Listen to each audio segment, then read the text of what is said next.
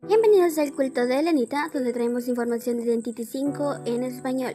Se acaban de revelar las imágenes para la esencia número 3, así que vamos a estar narrando la historia y también vamos a hablar sobre el evento de ella, de la niña que está en ese momento en línea en el servidor. La 3 se aperturará el día miércoles de la próxima semana, así que escuchemos cuál es la historia de fondo. El lugar donde todo comenzó era una isla aislada de extinción tipo Edén. Recuerda la creencia de su familia en la musa, el helecho negro, con sus efectos especiales al que llamaban el don de la diosa. Hasta que la pesadilla roja comenzó a arder desde donde el mar se une al cielo, consumiendo sus visiones y promesas con el hombre que recordaba. Cuando despertó de nuevo, Solo vio el cascarón del Edén destrozado y desmoronado.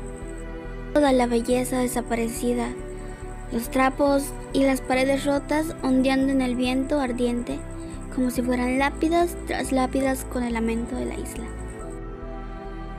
Ahora, todos estos años después, vuelve a emprender un viaje que recuerda, solo para descubrir que un sinfín de horribles rumores apuntan a un hogar que hace tiempo se perdió. Todavía tiene un rayo de esperanza. Tal vez haya otros supervivientes de esta pesadilla. Pero al llegar solo ve una oscuridad infinita.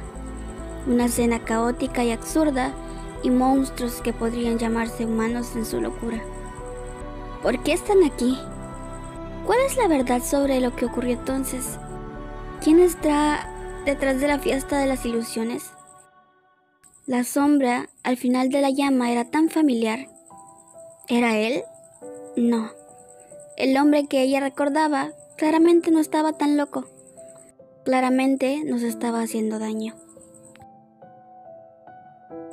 El evento de la segunda semana ha comenzado y este es muy similar en lo que hay que hacer al pasado en donde obteníamos a Orfeo, con la diferencia de que en este no obtendremos un superviviente gratis, pero sí obtendremos esencias.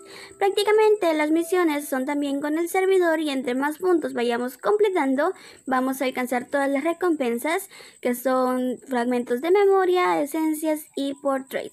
Así que ya saben, a jugar mucho.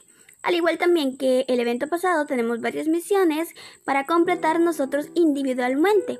En estas misiones pues nos irán dando puntos de memoria para desbloquear recompensas dentro de la tienda del evento. En cuanto al fragmento para la skin S, que como saben es una skin S del evento, o sea, no es algo que vamos a poder escoger nosotros, este fragmento más que todo lo obtendremos al completar 5 misiones de las personales. Y también me han preguntado mucho qué pasa con aquellas personas que no pudieron obtener este fragmento en el evento pasado. Muy claro, no lo he hecho, pero supongo que este fragmento también estará en la siguiente semana para aquellos que no lo han podido obtener. Así que esperemos información oficial y espero que realmente lo consigan para que obtengan la skin RAM. Este evento es muy diferente al de Orfeo porque en el de Orfeo simplemente teníamos que jugar con él. Ahora tenemos que encontrar a la niña dentro del mapa Dark Woods, que por cierto este mapa saldrá el 18 de noviembre para todos los servidores, pero en este caso vamos a poder experimentar el mapa y también vamos a tener que buscar a la niña dentro de él. Una vez que encontremos a la niña, ella nos ayudará a decodificar las máquinas más rápidos, es decir, que potenciará nuestra decodificación y también ayudará a la persona que está quiteando a voltear palets y ventanas muchísimo más rápido. El objetivo principal es sacar a la niña de la mansión mediante pues la decodificación completa de las máquinas y la apertura de las puertas. En el caso de que muramos tres, pero solo la persona que se encuentra poseída por la niña escape, esto de igual manera será beneficioso porque ayudaremos a la niña a escapar.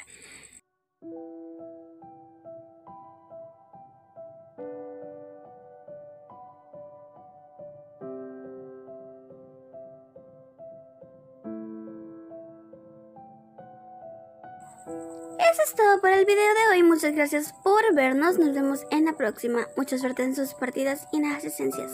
Bye bye.